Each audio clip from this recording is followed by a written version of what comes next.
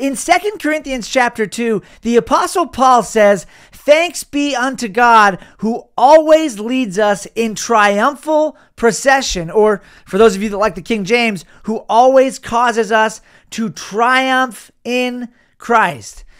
Look, while God wants you and I to triumph in many areas of our life, did you know that this verse has a very specific context and a very specific meaning? That Paul's talking about God causing us to triumph in a very specific thing? Do you know what it is?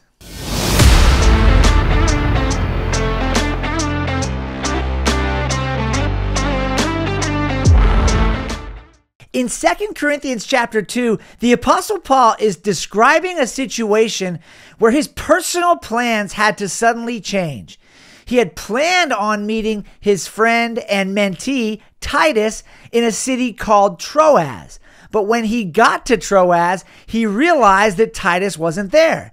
And so Paul made the decision to change his plans and to travel on to Macedonia in search of Titus. So, what happened as a result of this sudden change of plans? Well, not much, other than the fact that when Paul got to Macedonia, he did reunite with Titus, and the two of them managed to preach the gospel to all the people who were in that region.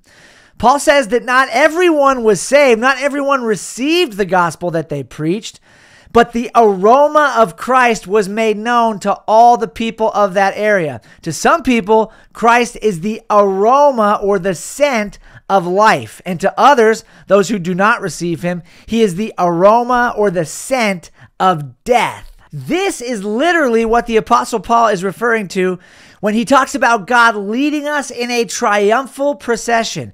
He's talking about everybody in the area of Macedonia receiving the aroma of Christ, having the chance to hear the gospel and decide whether or not they're going to receive and believe it. But the question is, why is Paul referring to him and Titus making known the gospel of Jesus Christ as a triumphal procession? Why is he using this very specific word. It's the Greek word thriambuo. It literally refers to a Roman military parade, the sort of victory parade that they would have after defeating their enemies in battle. Why is he using this word to describe the victory that they had in making known Christ to the Macedonians? There's two things you need to know about Paul's use of this word. The first is this Every time we make known Christ to the world around us, it's as if God is having his own victory parade right then and there. God has the victory in Christ Jesus.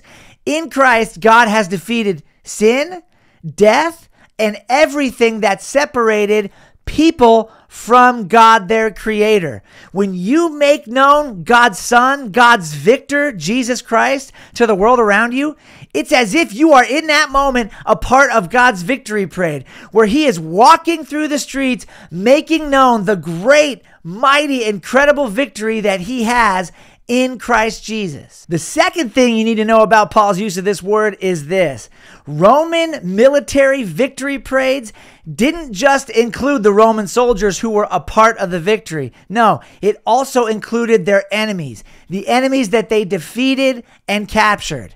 Every time you make known Christ to the world, you're not only exalting Christ and showing the world God's victory, you're also showing the world how God has defeated his enemies in Christ. That's why the devil hates it when you and I actually talk about Jesus to our friends and neighbors and everyone around us. Because he is being shown right there in that moment to be defeated, to be done and defeated and dealt with. And he knows that one day his final destruction is coming. So, look, as much as God wants to cause you and I to triumph in many areas of our life, this verse is not about you getting that promotion at work or your football team winning the playoff game. Look, all those things are well and good, but this verse is about you joining in God's victory prayed by making known, by boldly making known his victor, Jesus Christ, to the world around you. So, look, God leads us in triumphal procession every time we make known his son to the world, every time we make known the fragrance of Christ to the world around us. The last thing this passage says is this Who is sufficient for these things? In other words, it's not you and I that get the credit for making Christ known. It's not you and I and our great evangelistic abilities that brings this to pass. No, it's God's Spirit at work within us.